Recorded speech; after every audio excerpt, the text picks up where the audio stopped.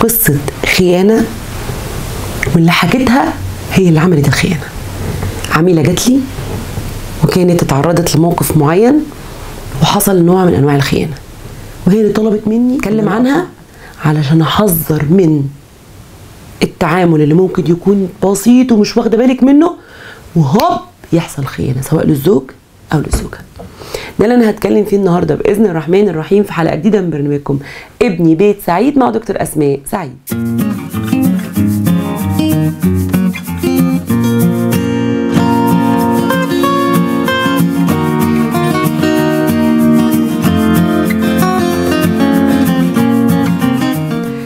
القصة بتاعت الخيانة دي بدأت من زوج وزوجة كانوا هما الاتنين في علاقتهم مع بعض عادية.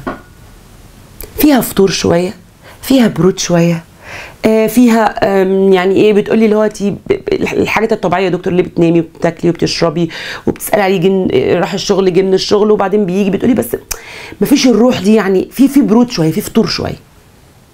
جواها حاجات من ناحية جوزها نفسها فيها بس ما بتتكلمش.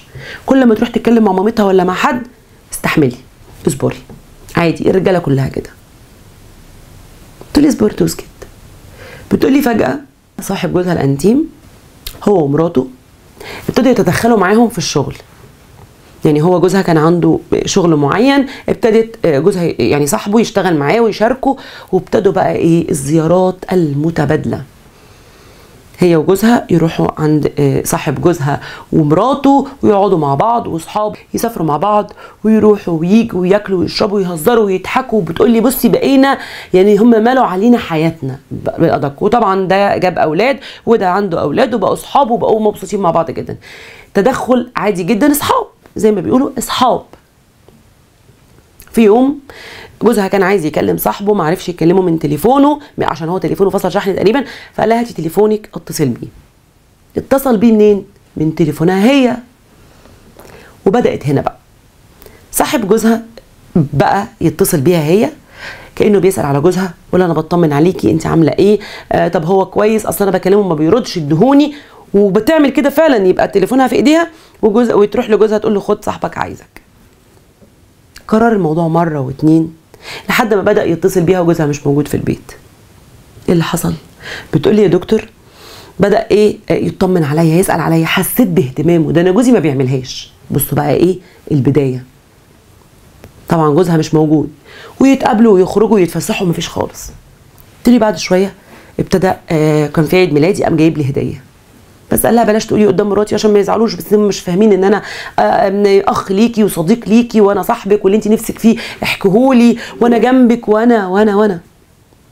بتقول لي يا دكتور بقيت مبسوطة قوي قوي ومبسوطة باهتمامه بيا لدرجة إن بدأ الموضوع يتطور بينهم ودخلوا بقى في هزار ودخلوا في علاقات من على الموبايل عادي عادي على ال على ال على الشات علاقة عادية خالص.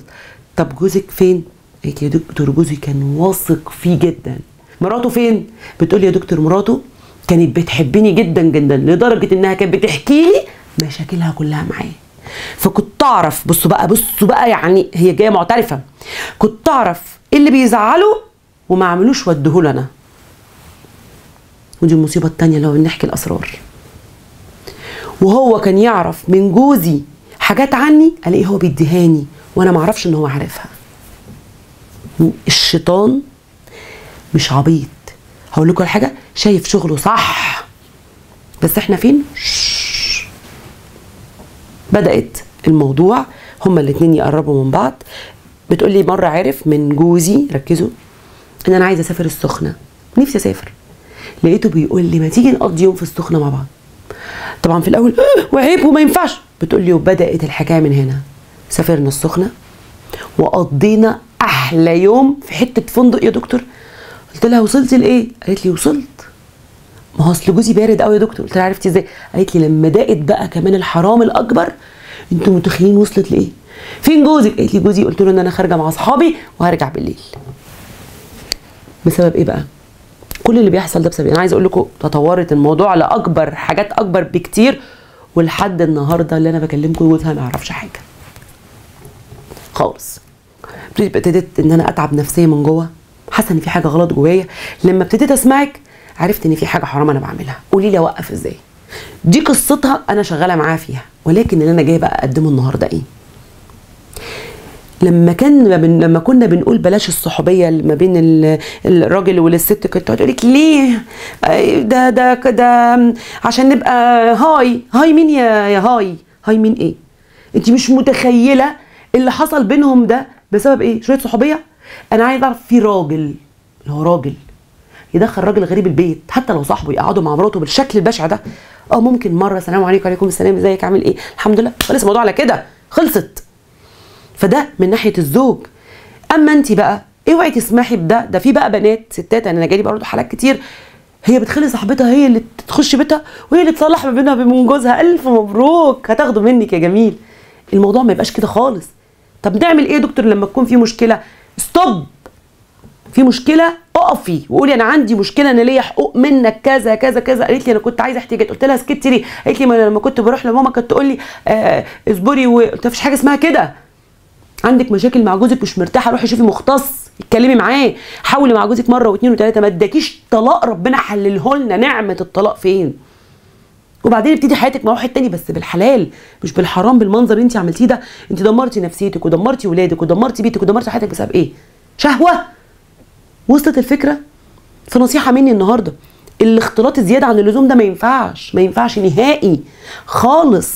وكمان انت عندك مشكلة بينك وبين جوزك أو انت عندك مشكلة بينك وبين مراتك ستوب وروح شوف مختص وقف انما حجة البليد خيانة؟ مفيش خي... مفيش مبرر للخيانة. مفيش مبرر واحد للخيانة.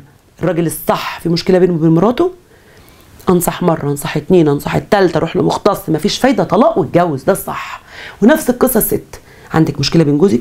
مديكي مديكي. لكن إن إحنا اللي بيجي لي دلوقتي ستات بتعمل كمية خيانات عن طريق عن طريق ال- الشات. أنا بقى يجي لي ستات أكتر من رجالة. يجي لي ستات أكتر من رجالة. يعني الست بتيجي عندها مشكلة إن هي اللي بتخون أكتر منها بتقولي جوزي اللي خاني وصلت الفكرة؟ فنصيحة مني اتقوا الله. لحظة الشهوة في ربع ساعة في نص ساعة في ساعة في يوم. بس ألمها هيخش قلبك يعمل عليه ران. أقسم بالله هتعيشي في ألم نفسي. وهتخسري دنيا وهتخسري آخرة. كفاية إن ربنا ونور ربنا مش هيبقى في حياتك. انسي بقى. ما ترجيش بعد كده تعيطي وتقولي أصل أنا بيحصل لي وبيحصل لي وبيحصل لي. نصيحة مني وقفوا المهزلة دي وشوفي مختص النهاردة ولو انت بتعملي أي حاجة روحي المختص هيساعدك على إنك تشيلي ده. لازم تشوفي مختص لأن الموضوع بيبقى فعلا شهوة عالية جدا. يا رب الحلقة تكون دخلت عليكم بالنفع وباليسر والنصايح اللي فيها فعلا تفيدكم اعملوا شير للحلقة عشان توصل الحلقة للدنيا كلها. والسلام عليكم ورحمة الله وبركاته.